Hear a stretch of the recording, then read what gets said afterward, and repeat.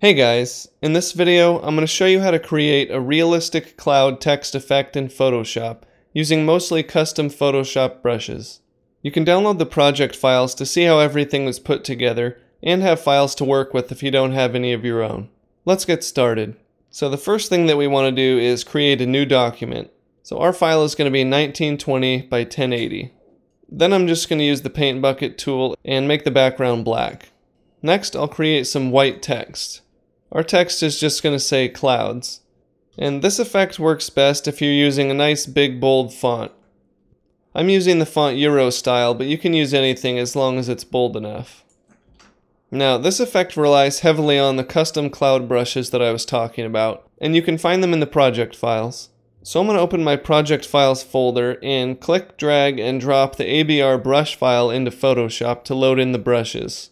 So if I press B to select my brush tool, you can see that all the brushes have been loaded in.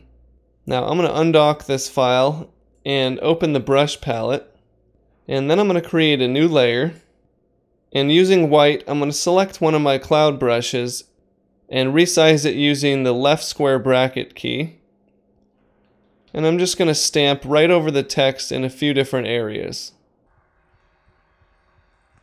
So if I hide my text layer, you can see what I've done.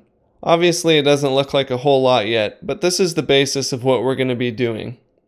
Next, I'll create another new layer and choose my next cloud brush. And using the same technique, I'm going to paint this brush over my text.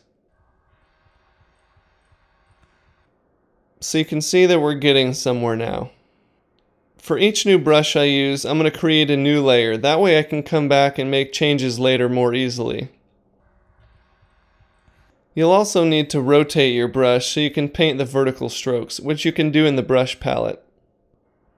Once you're done painting your clouds, you'll see that it looks like the words that you typed using your font. So you can hide your text because you're not going to use it anymore.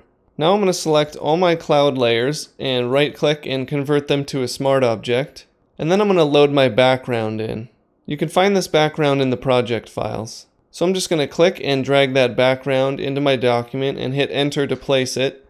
And then I'm just going to move it down so it's behind my clouds layer. Then I'm going to double click the clouds layer to open the layer style dialog and give it a drop shadow just to separate it from my background a bit.